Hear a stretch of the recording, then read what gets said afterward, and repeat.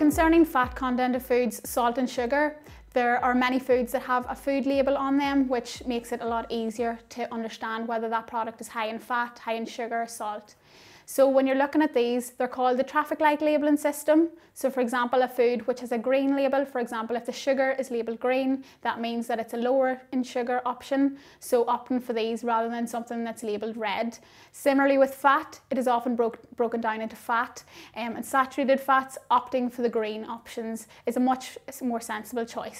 Again, looking at the food labels is making sure that the portion the portion size on the label. Sometimes these labels can say per half portion, so it's taken into account that you might be eating a lot more than what these labels are recommended. So just to be aware of that.